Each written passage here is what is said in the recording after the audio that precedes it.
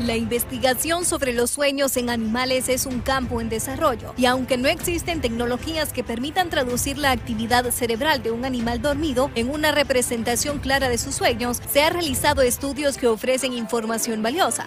Daire Brent, psicóloga e investigadora de sueños de la Universidad de Harvard, destaca que no solo se ha investigado suficientemente el contenido exacto de los sueños de los animales, nadie ha investigado lo que sueñan los animales, sentencia. Sin embargo, se pueden hacer suposiciones consistentes basadas en su comportamiento y actividad cerebral. El sueño se divide en varias fases, siendo la fase REM, la del movimiento rápido de los ojos, la más asociada a los sueños. Durante esta fase el cerebro está activo y se producen movimientos oculares rápidos. Los perros y gatos, al igual que los humanos, experimentan el sueño REM, lo que significa que podrían soñar de manera similar a nosotros. Sin embargo, la experiencia del sueño varía entre especies. Por ejemplo, los peces no muestran signos de sueño REM, lo que indica que probablemente no sueñan de la misma manera que los mamíferos. Además, Brent afirma que no está tan claro si las aves experimentan el sueño REM. Creo que es muy probable que no tengan sueños en el sentido de la actividad cognitiva, que nosotros llamamos sueños, explica.